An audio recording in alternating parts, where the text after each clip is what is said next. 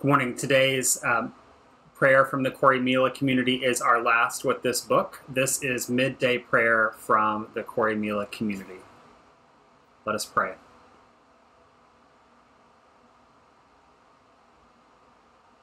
We break from the doings of our day and make space to notice you.